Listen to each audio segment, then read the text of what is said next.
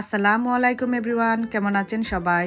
আশা করি সবাই অনেক ভালো আছেন, আমিও আলহামদুলিল্লাহ, আল্লাহ রহমতে অনেক ভালো আছি। তো আবারও চলে আসলাম একটা নতুন ব্লগ নিয়ে, আশা করি আজকের এই ব্লগটাও আপনাদের ভালো লাগবে। তো এখন হচ্ছে বিকেলবেলা, তো কিচেনে ঢুকেছি ইফতার বানানোর জন্য। তো প্রথমে আমার কুকারটা একটু পরিষ্কার করে নিলাম ক্লিন করে তারপরে রান্না বান্নাতে লেগে যাব। ইফতারের যা কিছু বানাবো রেডি করে আস্তে আস্তে বানানো স্টার্ট করে দেব। তো এখানে দেখতে পাচ্ছেন যে আমি একটা চিকেন ব্রেস্ট ছোটো ছোটো করে কেটে নিচ্ছি। কারণ আজকে আমি টাকুস বানাবো। আমার মেয়ে বলল যে, ও নাকি আজকে ইফতারের সময় টাকুস খাবে। তো টাকুস টিকটক ভাইরাল যে টাকুসটা, এটাই বানাবো। এখন তো দেখি টিকটকে শুধু এই টাকুসগুলাই বানানো হয়। তো ভাবলাম বানিয়ে নিই। আর মেয়েও বলছে যে, ও নাকি খাবে ইফতারের সময়।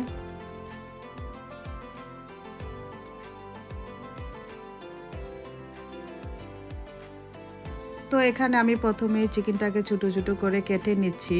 আর কেটে নিয়ে তারপর ভালো করে ধুয়ে আর পানিটা জড়িয়ে নেব।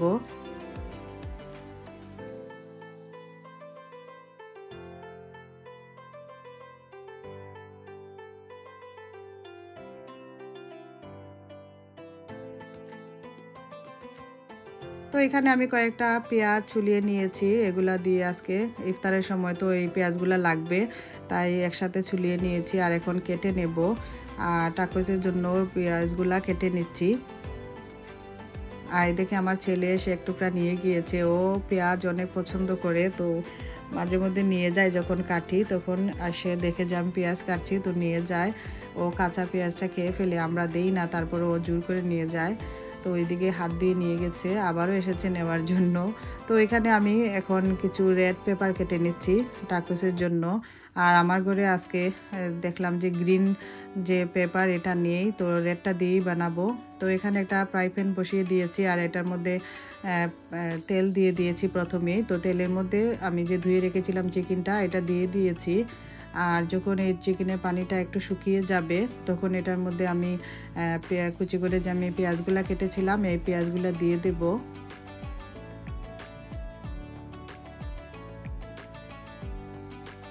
আর এইভাবে টাকসটা বানানি তো আমি দেখলাম যে একেবারেই ইজি খুব ইজিতেই কিন্তু এইভাবে বানানো যায়। তো পেঁয়াজ দেওয়ার পর আমি স্বাদ মতো লবণ দিয়ে দিয়েছি। আর লবণ দিয়ে তারপর এটার মধ্যে আমি যে রেড পেপারগুলো কেটেছিলাম, এগুলা দিয়ে দিয়েছি। আর দেওয়ার পর আমি এটার মধ্যে প্রায় হাফ টি স্পুনের মতো রসুন গুঁড়া দেব। রসুন পেস্টটা দিচ্ছি না, রসুন গুঁড়াটাই দিয়ে দিচ্ছি ইজির জন্য। আর দিব আমি হাফ টি স্পুনের মতো আদা গুঁড়া। আদার গুঁড়া আমার এই যে জারের মধ্যে রয়েছে এগুলাই দিয়ে দেব। সব থেকে যে আমরা কিনে আনি এগুলা। আর এখন দিয়ে দেব আমি হাফ টিস্পুন করে মরিচ গুঁড়া, কারি পাউডারের গুঁড়া আর মিক্স পাউডারের গুঁড়া আর দেব আমি জিরার গুঁড়া।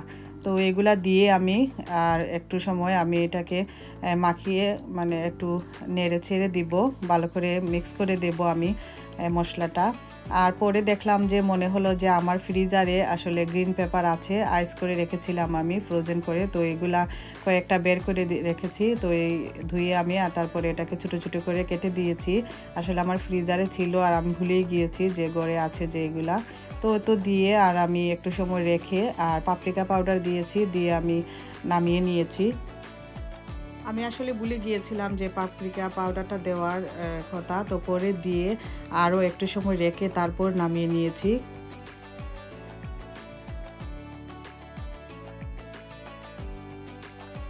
আর এই তো আমার টাকুসের ভেতরের যে চিকেনটা এটা বানিয়ে ফেলেছি। আর আসলে দেখতে খুবই সুন্দর লাগছে আর খেতেও কিন্তু মাসাল্লাহ মজা হয়েছে।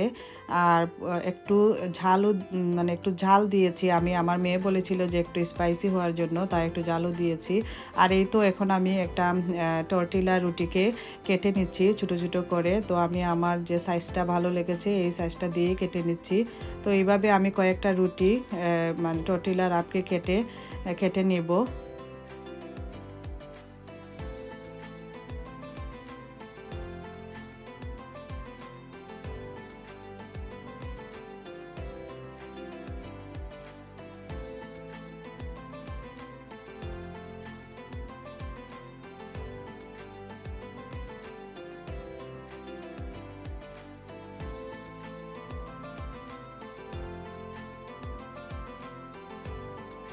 আর এই তো আমার রাবগুলা কাটা শেষ হয়ে গিয়েছে, তো এখন আমি একটা একটা করে এটার ভিতরে পুর দিয়ে আর একটা গ্লাসের জারের মধ্যে আমি, সার্ভিং ডিশের মধ্যে আমি নিয়ে নেব। আর একটা ছোট বোল দিয়ে আটকে আটকে দেব। তো এই- এইভাবে আসলে সবাই জানেন যে কীভাবে বানাতে হয়। তারপরও আমি যেভাবে বানালাম, এটাই জাস্ট আপনাদের সাথে শেয়ার করছি। তো এই তো একটা একটা করে দিয়ে দিচ্ছি। আর আমি আসলে আজকে বেশি বানা বানাচ্ছি না, অল্প করেই বানাচ্ছি যেহেতু ইফতারের টাইম তো বেশি খাওয়া যাবে না, অন্য অন্য খাবারও রয়েছে। তো আজকে আসলে আমি কিছু মানে কমই বানিয়েছি ইফতার, যেহেতু এটা বানাচ্ছি এই জন্য। তো এই তো আমি একটা একটা করে সবগুলা দিয়ে দিচ্ছি আর সবগুলা দেওয়ার পর আমি এটার উপরে চিজ দিয়ে দেব। চিজ দিয়ে তারপর ওভেনে ঢুকিয়ে দেব।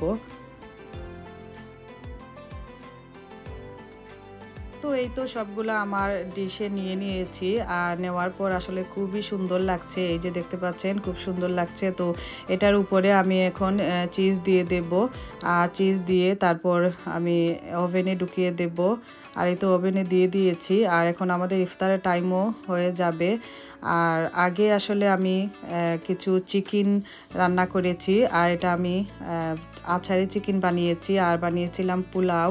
পোলাও না, এটা বুনা খিচুড়ি। আমাদের যে কালো ছানা রয়েছে, তো কালো ছানা দিয়ে আর আলু দিয়ে আমি এই বুনা খিচুড়িটা বানিয়েছি। তো এগুলা বানিয়েছি আমি আগে।